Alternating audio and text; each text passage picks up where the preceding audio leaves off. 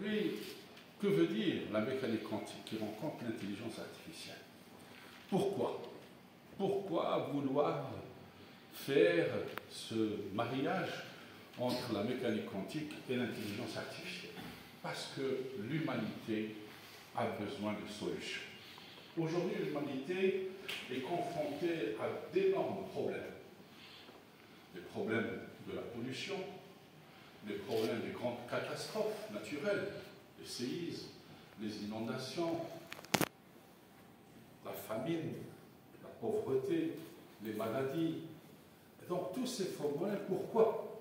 Parce que c'est vrai que la démocratie est galopante, c'est-à-dire qu'il y a de plus en plus de population, il faut la renourrir, il faut la soigner, et donc il y a l'émergence de beaucoup fléaux que l'homme ne peut pas contrôler, mais la science n'arrive pas à trouver des solutions pour que tout le monde puisse vivre dans les mêmes conditions. Parce que quel est le but ultime de la science en fait?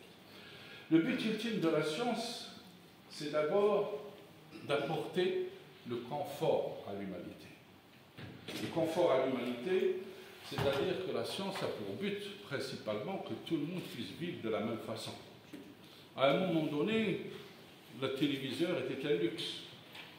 Mais aujourd'hui, le téléviseur est quelque chose qui est tout à fait banal.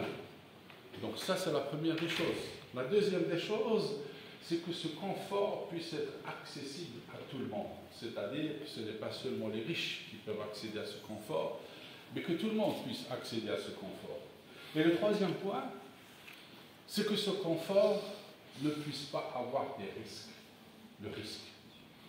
Parce que parfois, en augmentant le confort, en améliorant les choses,